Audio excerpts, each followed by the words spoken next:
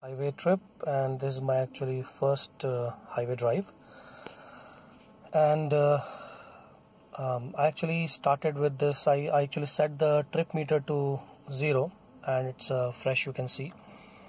Um, in my previous video you, you saw that uh, you know in traffic condition I got very less mileage and was that of that was a very peak bumper to bumper traffic so I'm not cursing the car. Uh, it it it was actually you know cursing the traffic actually.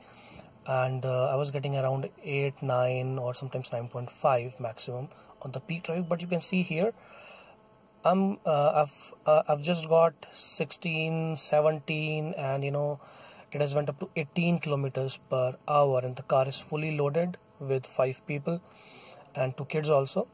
And the AC is also on and the temperature I think outside is 30 degrees Celsius. So this is giving a pretty good mileage based upon the load of the car. So 17 18 is a good mileage and i think uh, if you drive in even more low rpms you would get around 20 also. So i'm pretty happy with the mileage. Uh, thank you